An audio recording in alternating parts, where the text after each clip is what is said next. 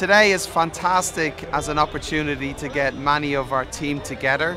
Importantly, uh, it's also about giving back to our community. It's great to see everybody with fantastic energy um, and we'll have great fun today along the way as well. We've got a fantastic day for this event, couldn't have been better. We're building as a team, you know, great buzz amongst the people there, a little bit of nervousness but a great buzz and ultimately we're giving something back.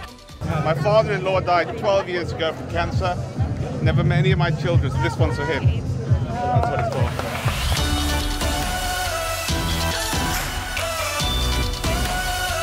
I'm doing the uh, cycle and the run. I keep forgetting that. I don't know why, I hate swimming. Our fourth triathlon that we're doing uh, in the last uh, eight years. Every time it was just the best atmosphere and the feeling afterwards is just amazing. It really is like a bonding exercise and it's not just today actually because over the last few weeks there's been cycles at lunchtime, cycles in the evening, swims, runs, it's amazing. Together with the team, we all bring different strengths to our work, and in triathlon, we all bring our different strengths as well. All together, we can achieve great things.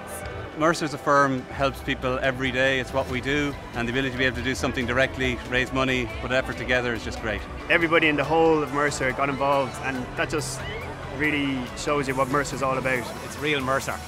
Yeah, yeah. everyone rowing in together, team effort.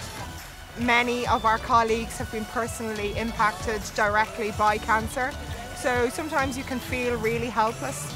And this is a way of doing something to feel like we're actually making a bit of a difference. It's about bringing people together as a team. It's about reflecting our culture at Mercer. Um, it's about being one Mercer.